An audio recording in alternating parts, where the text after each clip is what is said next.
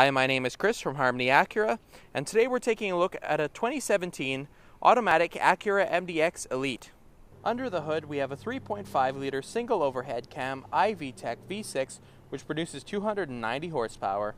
This MDX has had no accidents or damage, has never been owned, has only 26 kilometers on it, and comes with a full warranty. Moving on inside, we've got a leather interior with power adjustable front seats, steering wheel mounted phone, audio, information, and cruise controls, as well as a heated steering wheel with Acura watch controls, paddle shifters, push button start, a navigation system, backup camera, 10 speaker audio system, automatic tri zone climate control, and a sunroof. Moving to the middle, we've got seating for two. And for the passenger's comfort, there is a rear climate control console as well as air vents, and the rear seats are heated.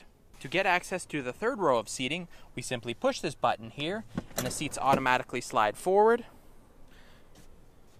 Which brings us to the back where there is seating for another two, and these seats fold down for extra storage space.